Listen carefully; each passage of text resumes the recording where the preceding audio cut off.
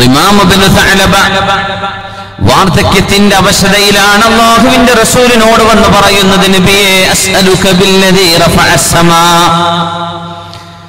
أسألك بالذي رفع السماء وبسط الأرض وأرسل الجبال പർവ്വതങ്ങളെ നാട്ടി നിർത്തുകയും ആകാശ ലോകങ്ങളെ ഉയർത്തി സ്ഥാപിക്കുകയും ഉരുണ്ടുകിടക്കുന്ന ഭൂമിയെ പരന്നതായി സംവിധാനിക്കുകയും ചെയ്ത അള്ളാഹുവിന്റെ നാമത്തിലൊന്ന് ചോദിച്ചോട്ടെ നബിയെ.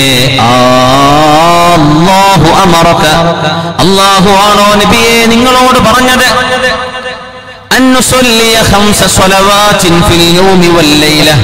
രാവിലും പകലിലുമായി അഞ്ചു നേരത്തെ നിസ്കാരം നിർബന്ധമാക്കിയത് ഈ കാരുണ്യവാനായ സർട്ടാവാണോ നബിയേ? ഈ വല്ലാ അതേ അതേ അല്ലാഹു തന്നെയാണ്. ഞാനൊന്ന് ചോദിച്ചോട്ടെ നബിയേ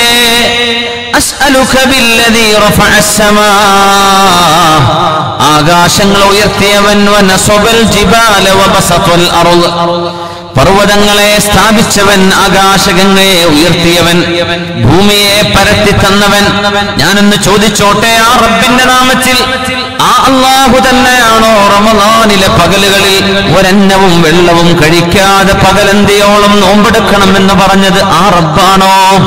ഈ വല്ലാഹ് അതെ അതെ ഇമാം അള്ളാഹു തന്നെയാണ്. എന്നാൽ ഞാനത് സ്വീകരിച്ചു നബിയെ ലാ അസീദു അലൈഹ വലാ അൻഖുസ്. ആ പറഞ്ഞ പോലെ അള്ളാഹു എന്തെല്ലാം എടുക്കണമെന്ന് പറഞ്ഞോ അത് മുഴുവനും ഞാൻ എടുക്കുകയും അവൻ എന്തെന്ന് പാടില്ലെന്ന് പറഞ്ഞോ അത് ഒരിക്കലും ഞാൻ ചെയ്യാതിരിക്കുകയും എന്നാൽ സുന്നത്ത് കർമ്മങ്ങളൊന്നും എന്നെ കൊണ്ട് അധികമാവില്ല നബിയെ ഞാൻ വാർദ്ധക്യത്തിലാണ്. ഞാൻ അങ്ങ് പറഞ്ഞത് മുഴുവൻ സ്വീകരിച്ചു നബിയെ.